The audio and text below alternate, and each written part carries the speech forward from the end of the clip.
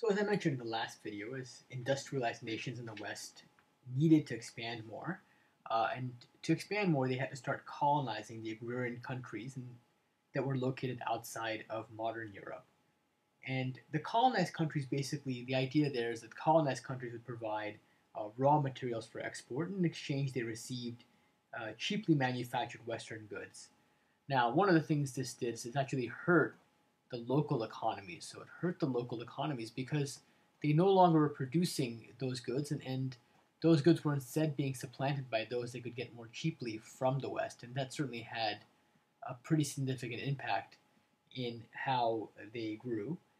Uh, and the Western ethos essentially forced onto these colonized countries, um, you know, a certain approach. And, and I think that ethos was enforced upon them at too rapid and too unsettling of a pace remember the West had hundreds of years to adapt. It, it, you know, the Industrial Revolution.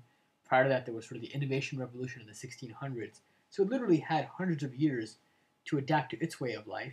But trying to push that same way of life onto somebody else in a far shorter amount of time uh, was going to prove both unsettling and probably too rapid. And as Karen Armstrong wrote, quote, the Islamic world had been convulsed by the modernization process. So, what really began to happen in terms of how colonization took place? Well, one of the key dates is, is in the second half of the 18th century. So, about second half, second half of the 18th century. What happened was that um, the British started to invade Mughal India, and specifically, they started establishing footholds in Bengal, and, and that region is located. Um, I'm going to show you right on the map, right around here in India. Okay? And this phase was known as the plundering of Bengal. The plundering of Bengal. Why was that? And it was because what essentially happened is that the Bengalis shifted away from growing crops for themselves and they instead began to provide raw materials to the British. Uh, and the British, in turn, because they were providing back goods and services, they began to damage the, the local industry. And so the British began to take stronghold uh, in India. In 1793, uh, Protestant missionaries arrived. So they had Protestant missionaries arriving in India, and, their goal was to quote unquote help civilize Indians. And that's that's how they put it. Um, and uh, that was also a, a, major inflection point in the uh, in Indian history. Uh, and then from about 1798, from 1798 until 1818, uh, basically through treaties or military conquest, uh, British rule was pretty much established everywhere except the Indus Valley. So basically, the British British rule established everywhere except the Indus Valley.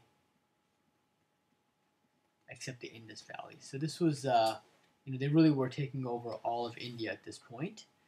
Okay, and then from 1843 to 1849, this is really where the Indus Valley was subdued. And they basically, at this point, really took over all of India.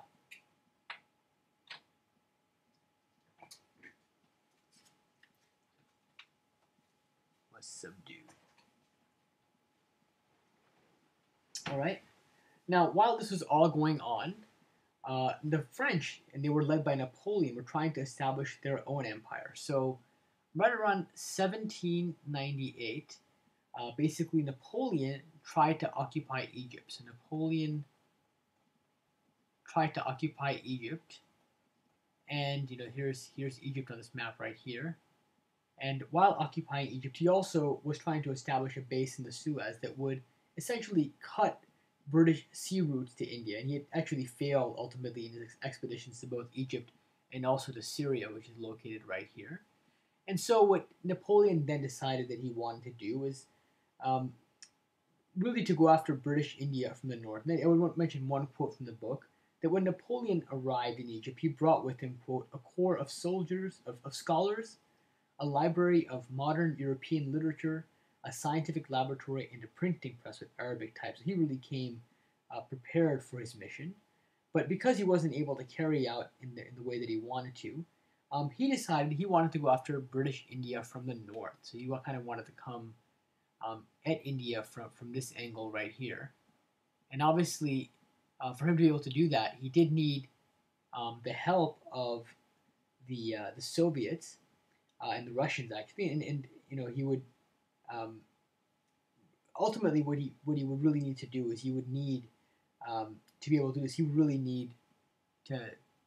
I guess Iran maybe became a very central and very critical. Um, took on a very critical position in this whole uh, in this whole scheme of things. So the British basically were trying to control, given the importance of Iran, the British were trying to control Iran from the south, and the Russians tried to control it from the north, which which you might expect since um, you know they're coming from up here anyway.